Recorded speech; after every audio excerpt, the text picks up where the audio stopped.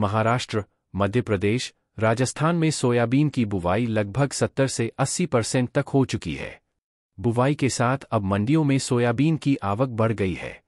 मंडियों में आवक बढ़ने का असर सोयाबीन के भाव पर दिखाई दे रहा है। सोयाबीन के भाव में लगातार गिरावट का दौर चला आ रहा है।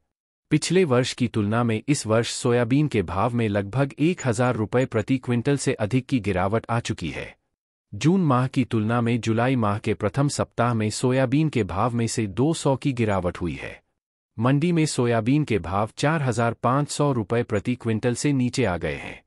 सोयाबीन का कारोबार करने वाले विशेषज्ञ बताते हैं कि सोयाबीन के भाव में आगे चलकर और मंदी आने की संभावना है।